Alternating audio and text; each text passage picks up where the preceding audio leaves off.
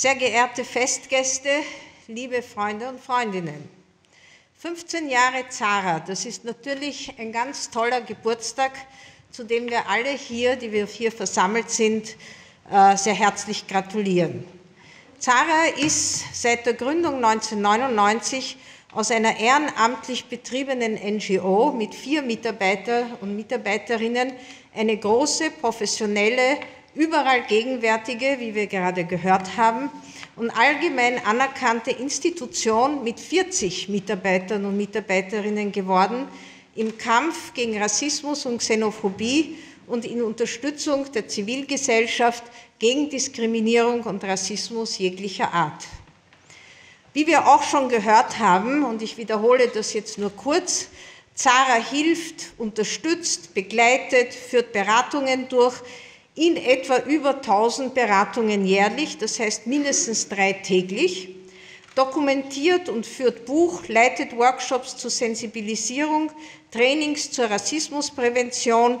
2014 etwa werden es insgesamt 102 Trainings werden, Unternehmensberatung zur Antidiskriminierung am Arbeitsplatz und ist auch immer wieder sofort erreichbar für jene, denen Unrecht zugestoßen ist.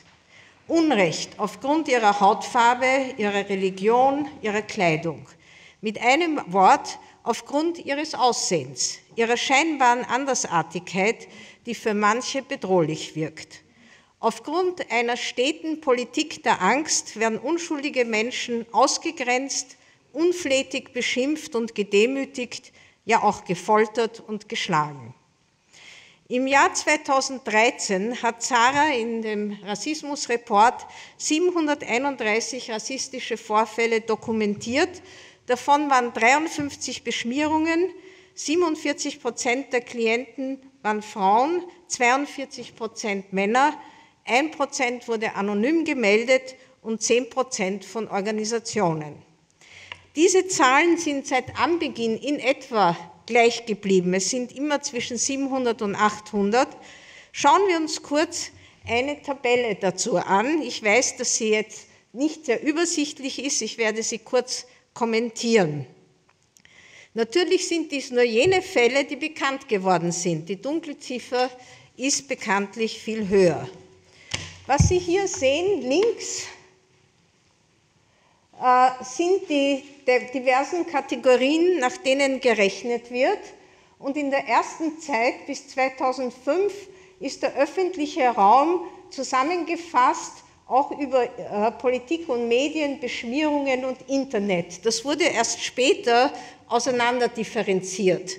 Wenn man sich also jetzt 2013 anschaut und zunächst meint, ah, nur 19 Prozent kommen im öffentlichen Raum vor, so irrt man, denn es sind 19 plus 20 plus 8 äh, plus 8, das sind 55 Prozent, wenn ich mich nicht irre.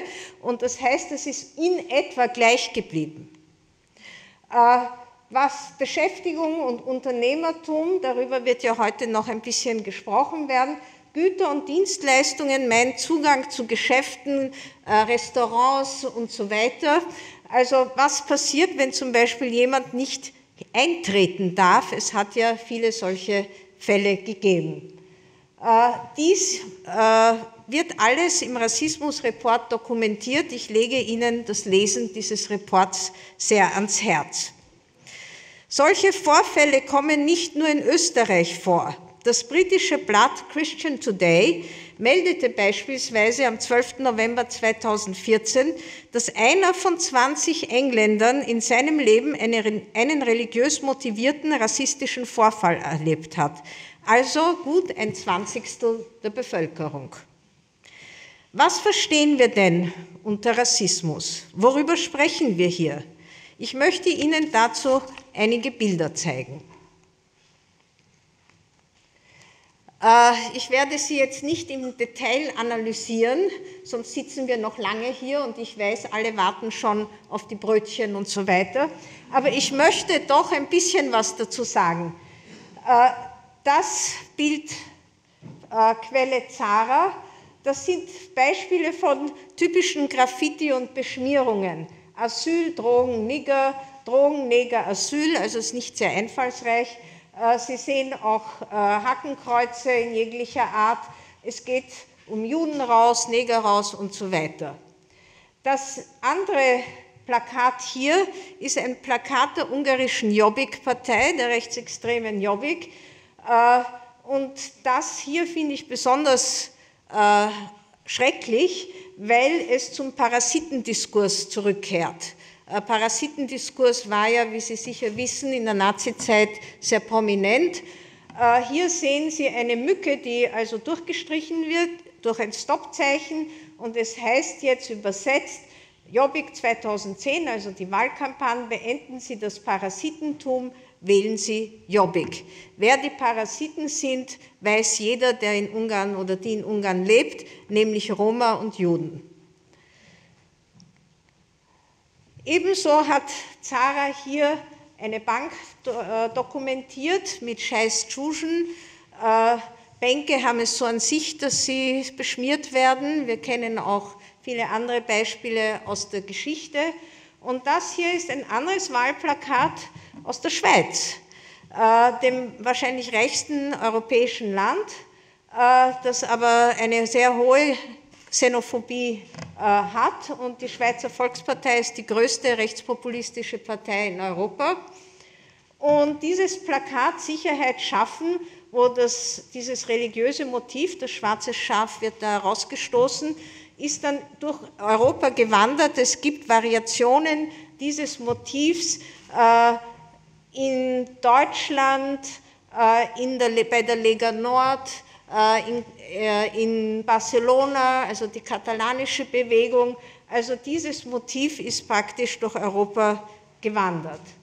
Und letztes Bild, äh, dieses Bild haben wahrscheinlich viele gesehen äh, vom 22. Oktober 2014, der Grenzzaun zwischen Spanien und Melilla, also in Marokko, äh, wo äh, Asyl, also Migranten oder Flüchtlinge versuchen, den Zaun zu übersteigen. Der einzige, der eine Leiter hat, scheint dieser Polizist hier zu sein. Und gleichzeitig spielen weiß gekleidete Menschen Relaxed Golf. Äh, diese Zusammenstellung, wenn sie nicht wahr wäre, äh, wäre sie sozusagen gut erfunden, um die, den krassen Widerspruch in unserer Gesellschaft sichtbar zu machen.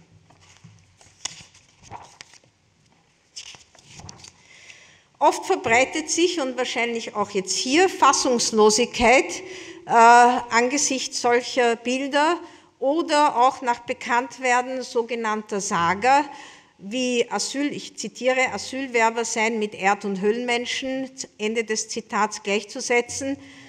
Bald dominieren jedoch Verleugnung, Rechtfertigung und Verharmlosung. Auch oftmals Unverständnis, dass nach den Schrecknissen des Zweiten Weltkrieges, nach der Shoah und den Genoziden im früheren Jugoslawien, in Ruanda und in vielen Teilen der Welt auch in der Europäischen Union mit allen ihren Antidiskriminierungsrichtlinien noch immer und schon wieder rassistische Vorfälle zu beklagen sind. In meinen heutigen Ausführungen halte ich mich an eine Arbeitsdefinition des Begriffs Rassismus, die zumindest zwei Ebenen einbezieht. Die Ebene der Ideologie und Meinungen über Gruppen, Fremde, Minoritäten und so weiter und die Ebene der gesellschaftlichen Praktiken. Wer ist in welcher Form einbezogen, wer ist durch welche Maßnahmen ausgegrenzt. Zunächst widme ich mich sehr gerafft dem Rassismusbegriff, dann will ich Ihnen kurz die Entstehungsgeschichte von Zara erzählen, eine sehr spannende Geschichte. Danach fasse ich einige Ergebnisse aus zwei internationalen Studien zum Alltagsrassismus und Formen der Ausgrenzung zusammen. Und schließlich will ich mit Ihnen zusammen überlegen, was zukünftig gemacht werden könnte.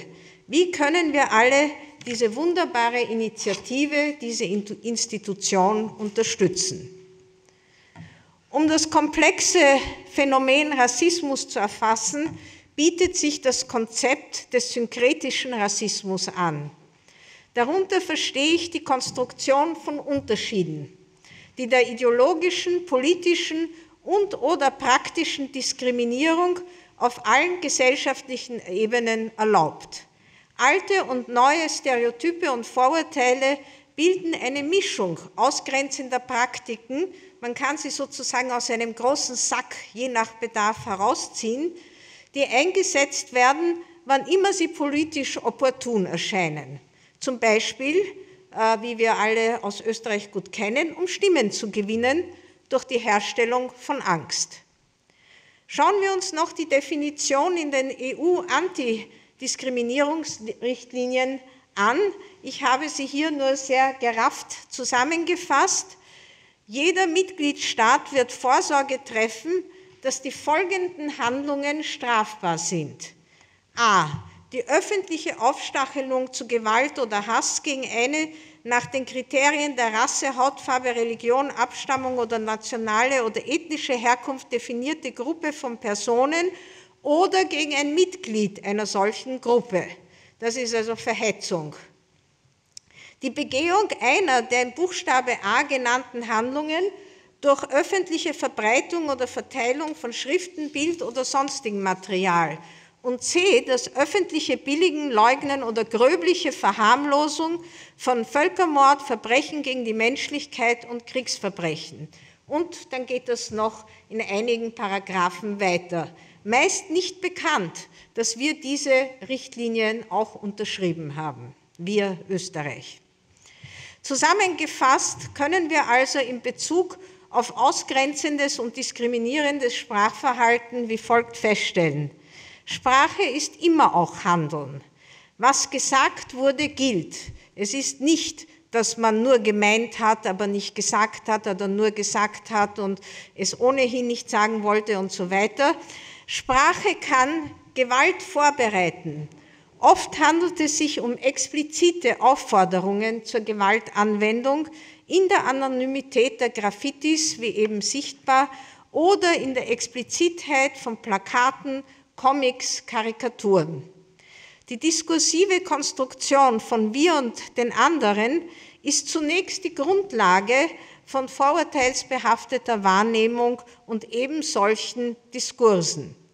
Diese Konstruktion führt dann zu einer Verallgemeinerung negativer Zuordnungen an die anderen und verwendet dann schließlich viele Argumente, um diese Ausgrenzung auch zu rechtfertigen.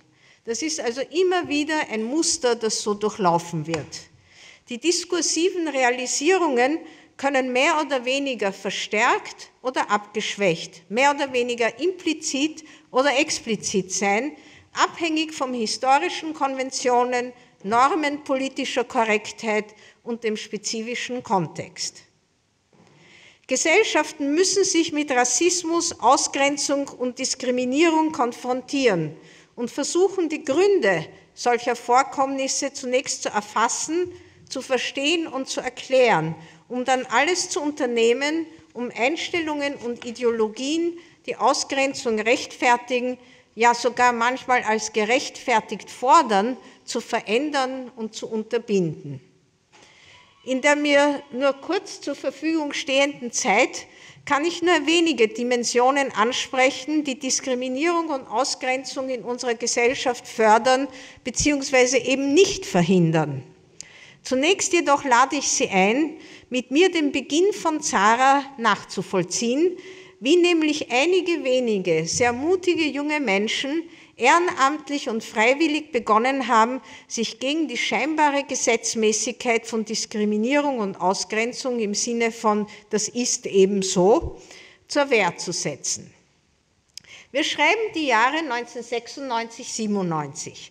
Damals war weltpolitisch gesehen noch Bill Clinton Präsident in den USA. Die britische Kolonie Hongkong wurde mit einem besonderen Vertrag an China übergeben. Prinzessin Diana kam bei einem Autounfall um und die Grenzkontrollen zwischen Deutschland, Österreich und Italien wurden beseitigt. Die Welt der Kinder wurde durch die Publikation des ersten Harry Potter Romans ein für allemal verändert. Österreich stand noch im Schock nach den tödlich verlaufenden Attentaten auf vier Roma in Oberwart 1995. Die Welt noch im Schock nach dem Massaker 1995 in Srebrenica und dem Genozid in Ruanda. Die umstrittene erste Wehrmachtausstellung zu den Kriegsverbrechen der deutschen Wehrmacht wurde 1995 in Hamburg eröffnet und begann ihre durch mannigfache, mannigfache Kontroversen begleitete Tournee durch Deutschland und Österreich.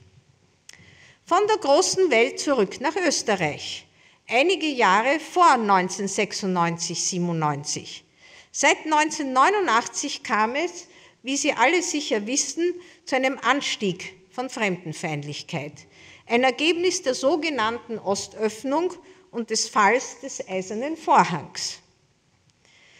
Hier sehen Sie, wie äh, Alois Mock und Julia Horn das berühmte Bild, den eisernen Zaun äh, durchschneiden bei Sopron am 27. Juni 1989. Solange die sogenannten Fremden, wie viele meinten, zu Hause blieben und ihr Land aufbauten, war ja alles in Ordnung. Wer sind nun diese illegalen Fremde, die sogenannten Wirtschaftsflüchtlinge, ökonomischen Flüchtlinge und so weiter und so weiter? Hier unterscheiden wir zwischen dem sogenannten modernen Fremden. Äh, dies war, wie Georg Simmel 19, äh, zu Beginn des 20. Jahrhunderts festgestellt hat, der Jude als kultureller Fremde, der Archetyp des Fremden. Und er hat das damals sehr schön definiert. Fremde sind nicht Mitglieder. Sie sind weder nahe noch fern. Sie sind zwar in der Gesellschaft, aber es gibt immer irgendwie eine Distanz zwischen uns und diesen anderen. Und den postmodernen Fremden, wie von Sigmund Baumann äh, vorgeschlagen, diese sind nun schwach und verlassen, marginalisiert. Jetzt in der neoliberalen Gesellschaft wird Fremdheit privatisiert einerseits und global andererseits. Baumann verweist auch auf zwei Strategien, im Umgang mit den Fremden, äh, die beide mit Essen zu tun haben. Einerseits können Fremde verschlungen werden, das ist assimiliert, oder man spuckt sie aus, das heißt, man deportiert sie. Im Englischen, wie er das geschrieben hat, heißt das devouring or vomiting. Ich finde das eine sehr treffende Metaphorik. Wollten nun aber Rumänen, Polen oder Ungarn gar über die nun offenen Grenzen zu uns kommen, dann waren sie nicht willkommen. Sie schauen ja anders aus und seien eine Gefahr für den Fremdenverkehr, meinte damals schon der oberösterreichische Landeshauptmann Ratzenböck. Und außerdem, so meinten viele Gewerkschaftler, würden sie uns, uns die Arbeitsplätze wegnehmen. Vielmehr, so der damalige Parteiobmann der FPÖ, Jörg Haider, der 1992-93 das Volksbegehren Österreich zuerst lancierte, wollten sich diese Fremden nicht integrieren und bedrohten unsere Kultur. Anmerken will ich hier, dass viele Forderungen dieses Anti-Ausländer-Volksbegehrens im Zuge der Normalisierung, wie ich das nenne, von Ausgrenzung inzwischen in die Fremdengesetzgebung Eingang gefunden haben. Aber dazu noch später. Als Antwort versammelten sich Hunderttausende Menschen, äh, Regierungsmitglieder eingeschlossen, im Lichtermeer 1993 am Heldenplatz. Ein sehr schönes Bild. Der damalige Wissenschaftsminister Erhard Busseck richtete gleich 1993 einen Forschungsschwerpunkt Fremdenfeindlichkeit ein, bei dem auch Tön van Dijk und ich 96 bis 99 ein Projekt durchführten. Racism at the Top, eine diskursanalytische Untersuchung zu Parlamentsdebatten über Migranten und Migrantinnen in fünf europäischen Ländern. Generelles Ergebnis unter vielen, in allen fünf Ländern, Spanien, Frankreich, England, Österreich und Holland, waren Fremde nicht willkommen. Der ausgrenzende Diskurs war jedoch unterschiedlich explizit. Die fremdenfeindliche Stimmung wurde immer intensiver, getragen vor allem von der FPÖ und den Boulevardmedien. Erinnern wir uns nur an den Wahlkampf 1999, der von xenophoben FPÖ-Slogans quasi überrollt wurde. Werfen wir nun einen Blick von der großen Welt von Österreich kommend auf das Institut für Sprachwissenschaft an der Universität Wien. 1996 organisierte ich ein Seminar, das unser Projekt Racism at the Top begleiten sollte, zu Sprache und Rassismus. Verena Krausnecker, die auch hier sitzt, eine Seminarteilnehmerin, machte für ihre Seminararbeit Feldforschung zu den Bescheiden der Fremdenpolizei, die Ansuchen auf Aufenthaltsgenehmigung in Österreich beurteilten und meist ablehnten. Verena kam völlig entgeistert in meine Sprechstunde und zeigte mir Bescheide, die von impliziten und expliziten Vorurteilen nur so strotzten, dass sich die Anpassenden, äh, die Ansuchenden nicht anpassen würden, nicht arbeiten wollten und so weiter und so weiter.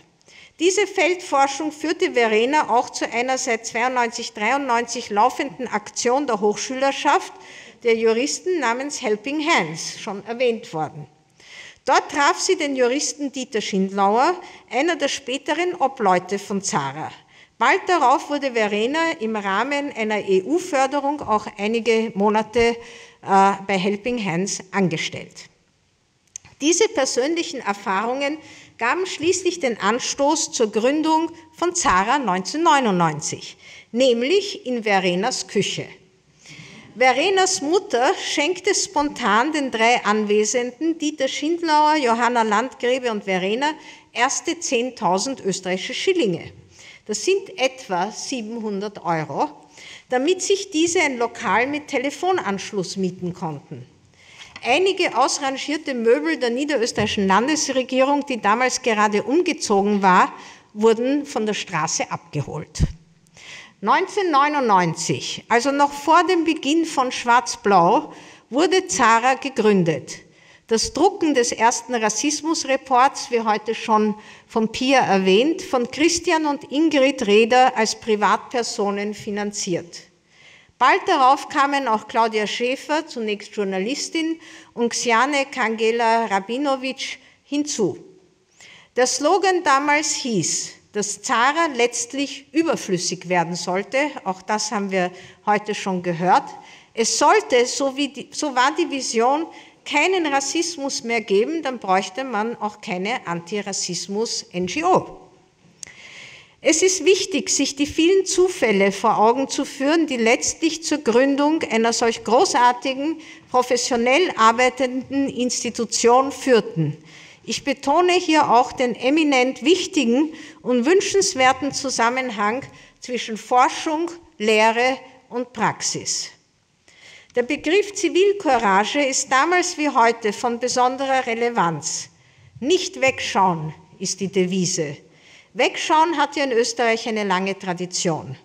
Wie wir alle wissen. Mann, Frau hat ja nichts gewusst, gesehen oder gehört, als unschuldige Menschen deportiert wurden, diese traurigen Erfahrungen aus der Vergangenheit sollten wir alle zum Anlass nehmen, sehr wohl hinzuschauen und auch aktiv zu werden, wenn Menschen ausgegrenzt und diskriminiert werden, täglich auf der Straße, am Arbeitsplatz, in der U-Bahn, in den Schulen, in unserer Umgebung.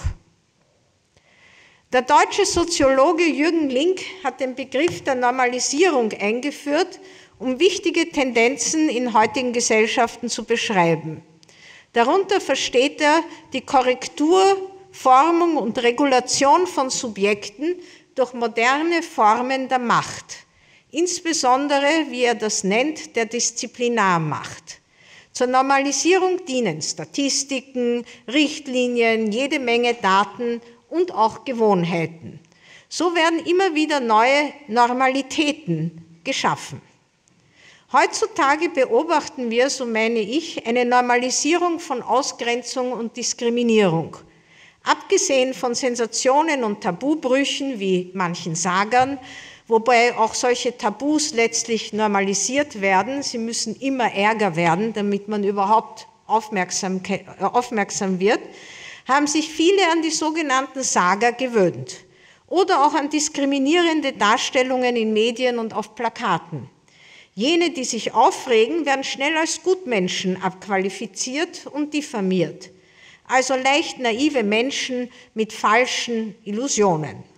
Oder man geriert sich schnell als Opfer einer Kampagne, die einen mit einer Rassismuskeule bedrohe. Eine typische Opfer-Täter-Umkehr. Ebenso schnell hören wir viele Disclaimer, nämlich dass die jeweiligen Politiker und Politikerinnen ohnehin viele türkische, jüdische oder israelische Freunde hätten. Äh, und dann kommt immer aber. Ja?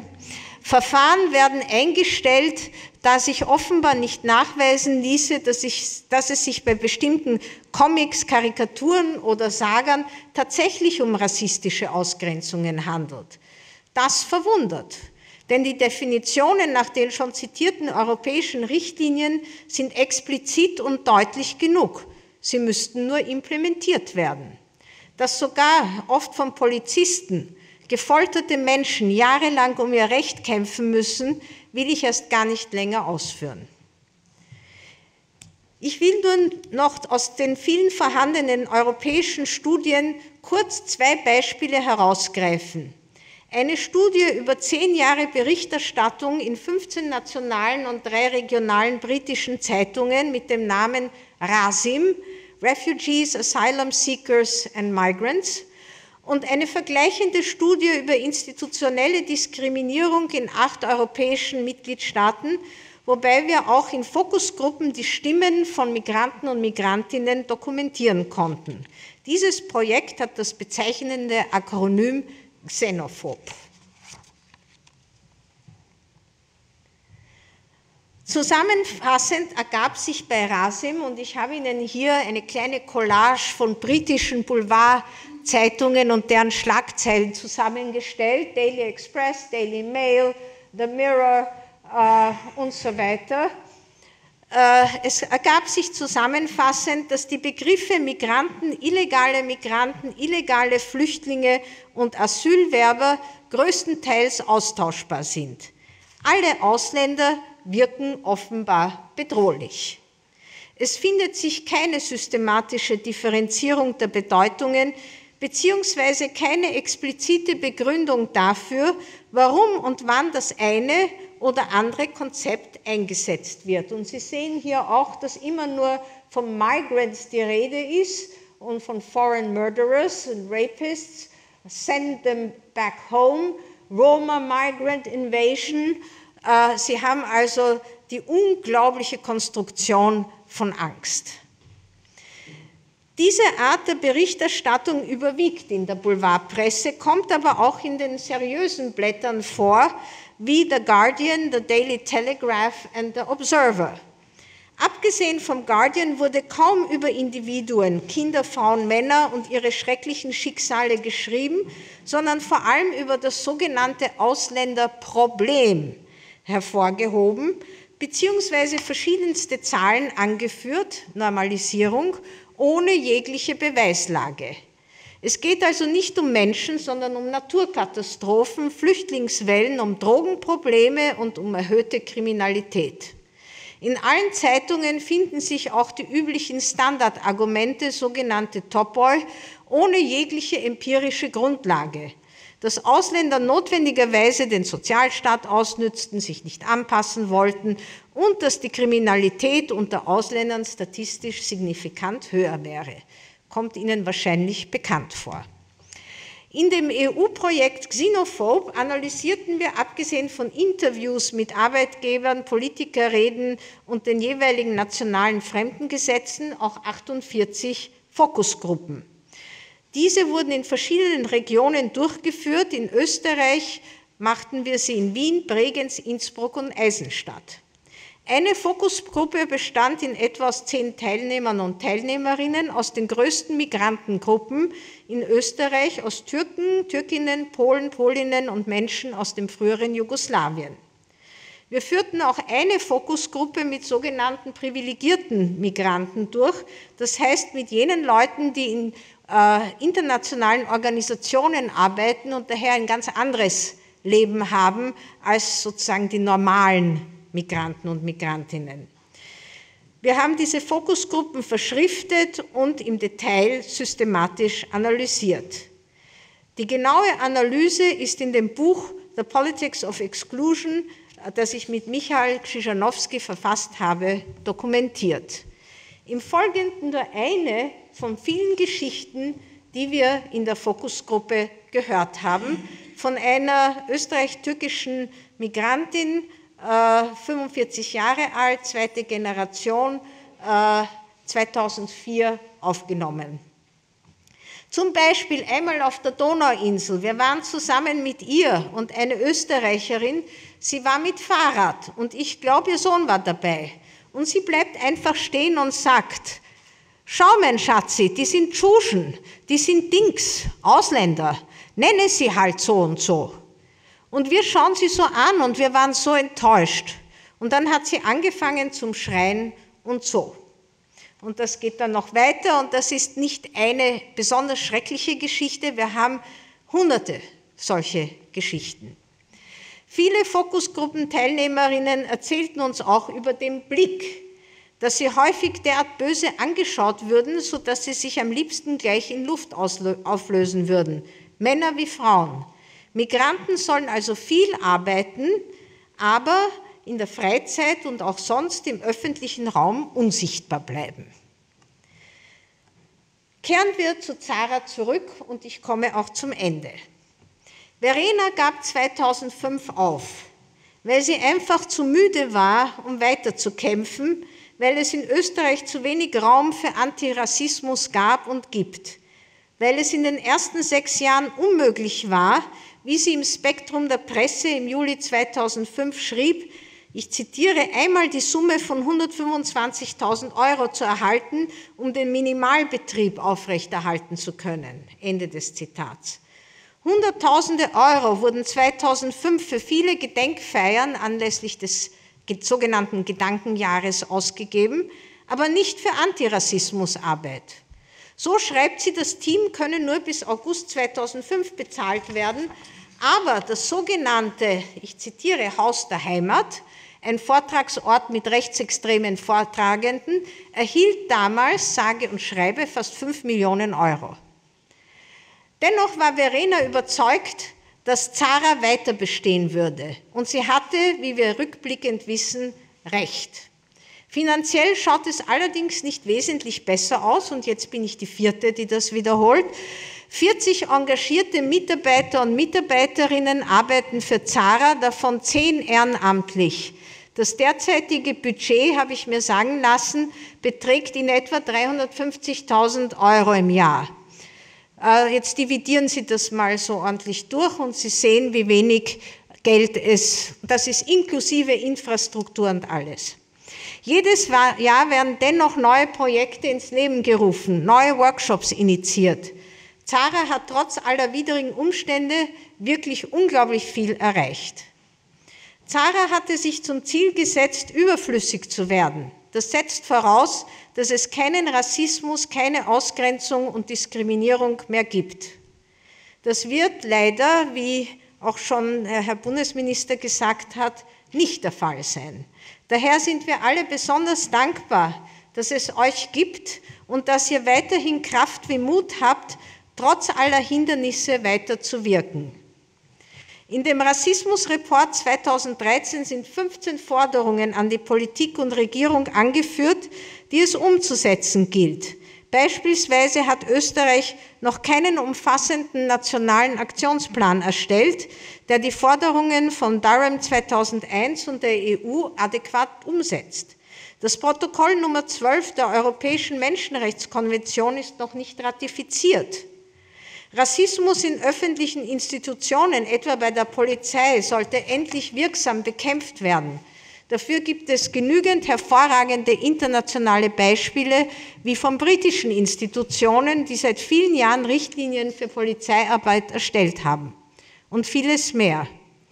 Ich selbst wünsche Zara weiterhin viel Erfolg für die besonders wichtige Arbeit und erinnere abschließend an eine hervorragende Kampagne vor vielen, vielen Jahren in Wien. Vielleicht könnte diese wiederbelebt werden. Ich heiße Kolleritsch, du hast Kolleritsch. Warum sagen es zu dir Tschusch? Vielen Dank.